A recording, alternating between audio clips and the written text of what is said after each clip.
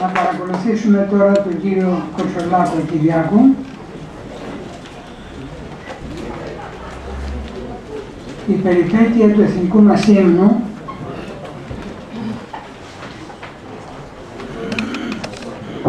σας ακούω με ενδιαφέρον.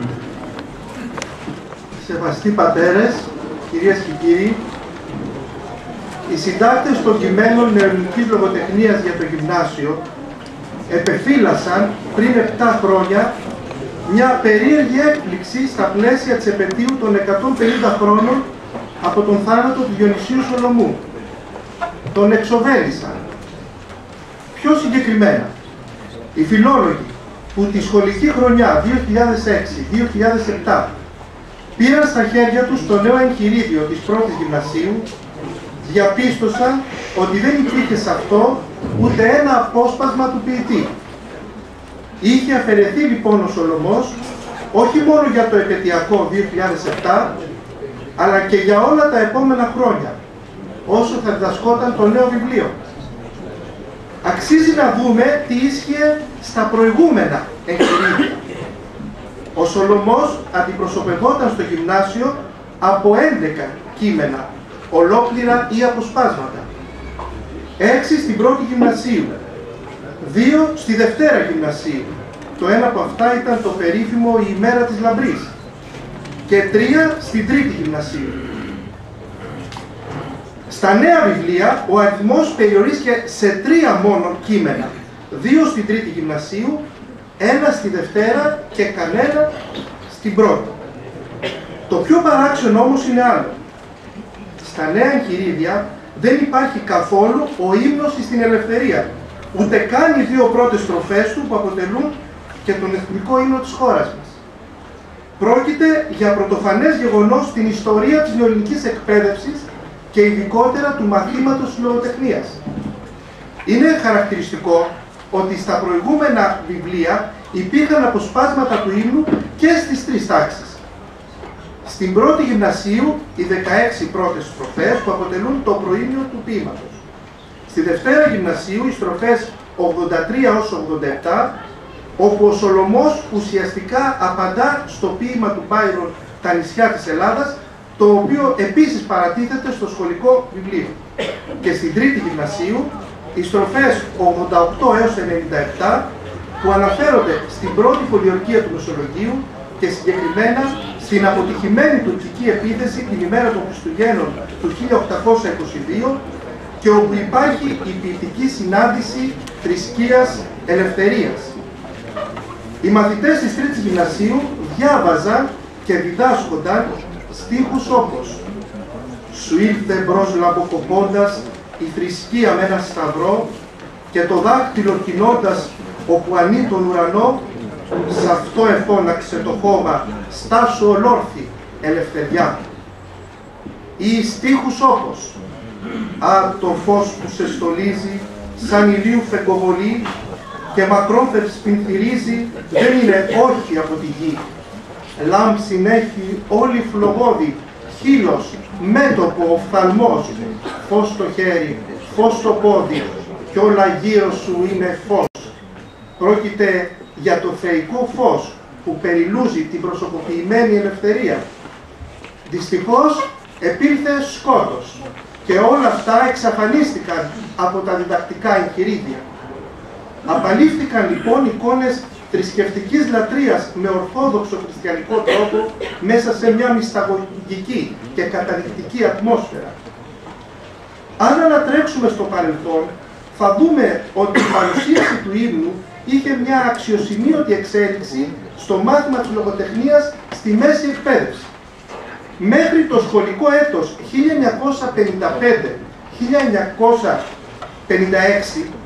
ο ύμνος συμπεριλαμβανόταν ατόφιος και οι 158 στροφές του στα νεοελληνικά αναγνώσματα της τελευταίας τάξης του γυμνασίου, σημερινής τρίτης λυκείου. Από το έτος 1956-1957,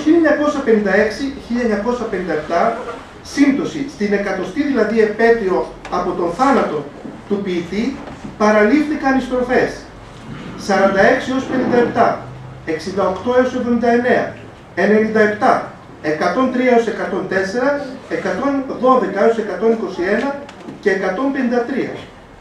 Αυτό, όπως είναι ολοφάνερο από το περιεχόμενο των συγκεκριμένων στροφών, δεν έγινε για λόγους συντομεύσεως του ποίηματος, αλλά γιατί θίγονταν οι γείτονες Τούρκοι, οι οποίοι βέβαια είχαν προχωρήσει στις γνωστές σε βάρος του ειρηνισμού ενέργειας από το Σεπτέμβριο του 1955 και μετά.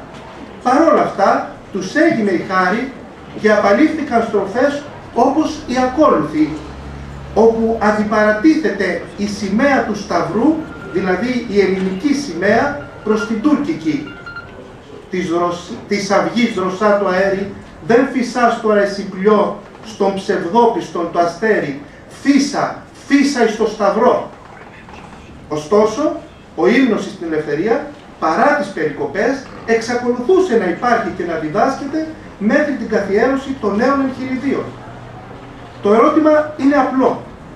Κατά ποια λογική, παιδαγωγική, εθνική, φιλολογική ή όποια άλλη παραλήφθηκε, σύμφωνα με τις προηγούμενες οδηγίες για τη δασκαλία των φιλολογικών μαθημάτων στο γυμνάσιο, ανάμεσα στους σκοπούς του μαθήματος της ιδεολογικής γραμματείας ήταν η ουσιαστική κατά το δυνατόν επαφή των μαθητών με αντιπροσωπευτικά έργα της πολιτιστικής μας κληρονομιάς, εθνικής και παγκόσμιας.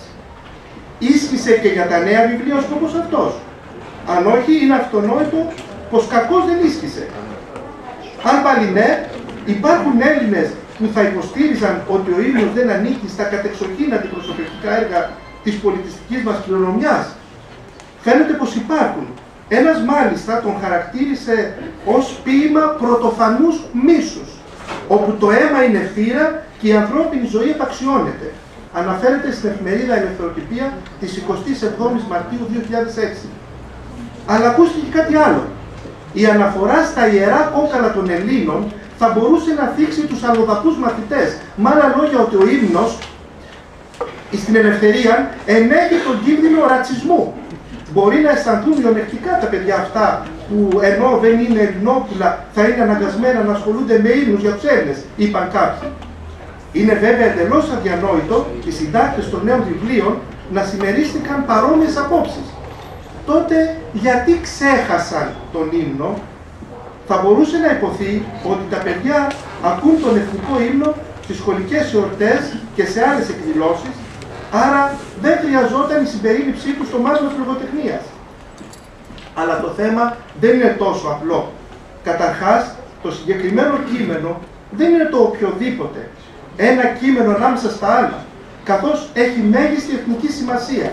Διδασκόταν ανελιπώς και εξεταζόταν ως προς τη λογοτεχνική του αξία. Και θα έπρεπε να συνεχιστεί η διδασκαλία του για να μην έρθει η στιγμή που οι Έλληνες θα ψάνουν τον εθνικό τους ύμνο, αλλά δεν θα καταλαβαίνουν τα λόγια. Για παράδειγμα, ο στίχος που με βία μετράει τη γη δημιουργεί ερμηνευτική δυσκολία, ακόμα και σε κάποιους που έχουν διδαχθεί το ποίημα, πόσο μάλλον στους υπολείπους.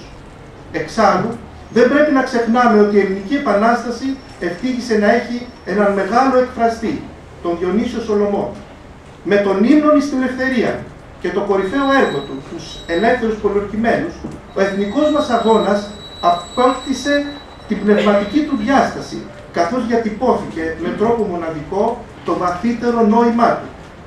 Στους μίζερους, αντιποιητικούς καιρούς μας, ίσως αυτά να μοιάζουν ψηλά γράμματα. Ακόμα και τα λόγια του Οδυσσέα Λύτης στο άξιο νηστή, ίσως να φαίνονται ψηλά γράμματα.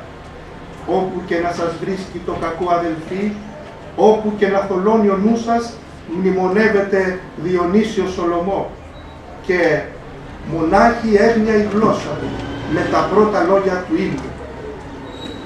Όμως, εδώ έχουμε να κάνουμε με τον από το 1865 εθνικό μας ύμνο.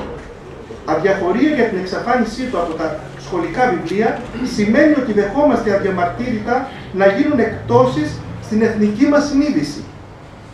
Με αυτή τη σκέψη και επειδή θυγόμουν άμεσα ως Έλληνας αλλά και ως φιλόλογος που διδάσκει το μάθημα της λογοτεχνίας, αποφάσισα να στείλω επιστολή στον τότε Πρωθυπουργό Κώστα Καραμανλή, εκθέτοντας αναλυτικά το πρόβλημα. Μετά από λίγες ημέρες έλαβα έγγραφο το οποίο υπέγραφε ο Διευθυντής του Γραφείου της τότε Υπουργού Εθνικής Παιδείας και Θρησκευμάτων, Στο έγγραφο αναφερόταν ότι η επιστολή μου τέθηκε υπόψη της Διεύθυνσης Σπουδών Δευτεροβάθμιας Εκπαίδευσης για να με ενημερώσει σχετικά. Σύμφωνα με έγγραφα που μου κοινοποιήθηκαν επίσης σε βραχή χρονικό διάστημα, η Διεύθυνση Σπουδών διαβίβασε την επιστολή μου στο Παιδαγωγικό Ινστιτούτο, το οποίο απάντησε ως εξής. Σχετικά με την επιστολή του κυρίου Κυριάκου Κοτσολάκου, η οποία αναφέρεται στον περιορισμό των κειμένων του Διονυσίου Σολομού στα σχολικά εγχειρίδια για το μάθημα της νεοελληνικής λογοτεχνίας στο γυμνάσιο, θα πρέπει να σας επισημάνουμε ότι οι προσωπικές σκέψεις και κρίσεις του επιστολογράφου δεν ανταποκρίνονται στη φιλοσοφία και το περιεχόμενο του αναλυτικού προγράμματος σπουδών και του ενιαίου διαθεματικού πλαισίου προγραμμάτων σπουδών με βάση τα οποία συντάχθηκαν τα νέα διδακτικά βιβλία της νεοελληνικής λογοτεχνίας για το γυμνάσιο. Οι μεγάλοι εθνικοί ποιητές ανθολογούνται αλλά σε περιορισμένη έκταση σχέση με τα παλαιότερα βιβλία της νεολικής λογοτεχνίας για τον λόγο ότι κρίθηκε σκόπιμη η ανανέωση του λογοτεχνικού κανόνα προκειμένου οι μαθητές να έρθουν σε επαφή με δείγματα γραφής νεότερων Ελλήνων και ξένων λογοτεχνών τα οποία βρίσκονται εγκύτερα στα προβλήματα και στα συναισθήματα της εθνικής ηλικίας. Υπογραφή ο πρόεδρος του Παιδαγωγικού Ινστιτούτου Δημήτριος Βλάβος, ομότιμος καθηγητής Αριστοτελείου Πανεπιστημίου Θεσσαλονίκης. Θα μπορούσε κανείς να θέσει τα εξής ερωτήματα ως απάντηση στο Παιδαγωγικό Ινστιτούτο. Η φιλοσοφία των νέων βιβλίων είναι λοιπόν αντίθετη με τον εθνικό ύμνο. Ο εθνικός και κλασικός ποιητής Διονύσιος Σολομός δεν βρίσκεται κοντά στα συναισθήματα της εφηβικής ηλικίας. Οι έφηβοι δεν έχουν πια εθνικά πατριωτικά αισθήματα σύμφωνα με την απάντησή σας. Και ακόμα, η έννοια της ελευθερίας είναι ξεπερασμένη. Την καλύτερη ωστόσο απάντηση στο Παιδαγωγικό Ινστιτούτο τη δίνει το ίδιο το σολομικό έργο.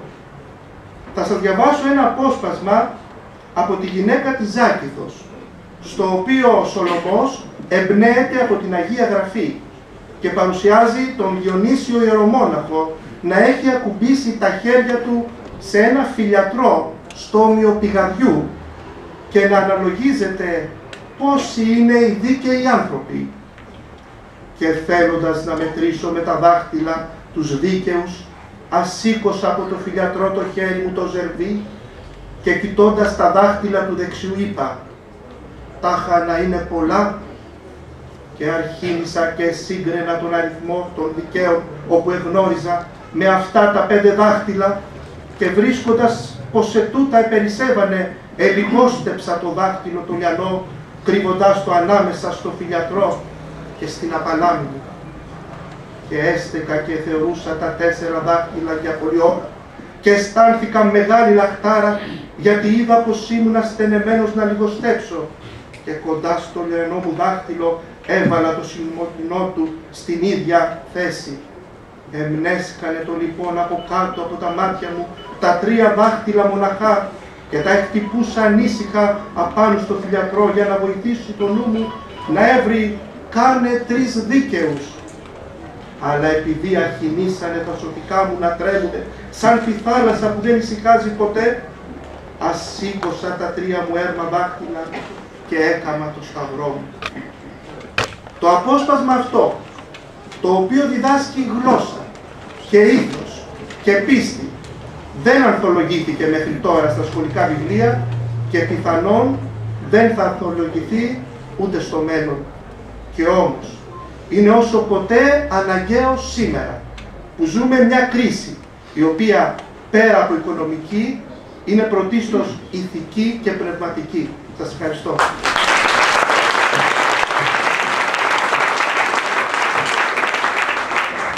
Κύριε Κουσουλάκο, ευχαριστούμε πάρα πολύ. Μου δίνετε την αφορμή εμένα να πω και στους ε, ε, πατέρες που είναι εδώ πέρα, αλλά και όσους έχουμε κάποια θεσμική αρμοδιότητα σε ομάδες ανθρώπων, στην ενορία μας εμείς λοιπόν, και όπου αλλού μπορούμε να έχουμε επιρροή, να διοργανώσουμε ε, μια εκδήλωση που να διδάσκεται σε μία ή δύο συνέχειες. Εμείς ιδρύσαμε τώρα στην Παναγία μας Σχολείο Αρχαίου Ελληνικών. Θα βάλουμε μία ή δύο διδακτικές ώρες να μελετήσουμε, να παρουσιάσουμε όλο τον ύμνο στην ελευθερία. Και επομένως οι 40 άνθρωποι που θα έρθουν σε αυτό το σχολείο να γίνουν πολλαπλασιαστές του μηνυμάτων του εθνικού μας ύμνου. Και διατυπώσατε επίσης και μερικές ερωτήσεις. Για τις ερωτήσεις αυτές, απάντηση είναι αυτή που είπε ο κύριος Μποζοβίτης, ότι δύο πρόσωπα συζητούσαν, το ένα εξ αυτών είναι ο μεγαλύτερος από τους ε, κατέχοντες το μεγαλύτερο πλούτο της γης. Αυτός λοιπόν μεθοδεύει, είναι ένας από τους δανειστές μας, από ό,τι φαίνεται και μεθοδεύει όλη αυτή την απαρέσκεια, την αποστροφή και προς οτιδήποτε είναι ελληνικό και προς οτιδήποτε είναι ορθόδοξο γιατί τους καίει και η λέξη Σταυρός και Χριστός και η Ορθόδοξη πίστη.